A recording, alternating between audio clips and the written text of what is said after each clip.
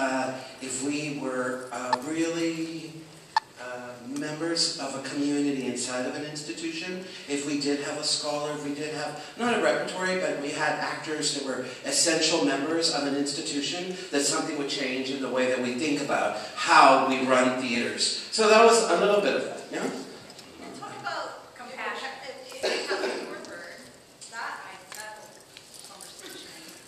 Well, how about just to offer gender parity? Let me let uh, Josefina continue.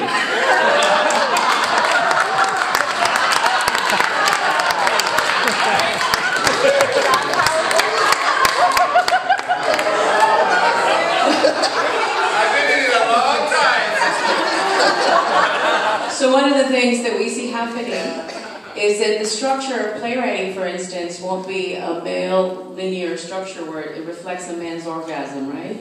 Rising action, climax, resolution, they fall asleep, right? But it'll be more orgasmic, multi-orgasmic, where it spirals up, spirals down, and it'll be much more encompassing of female energy and female stories. Yeah.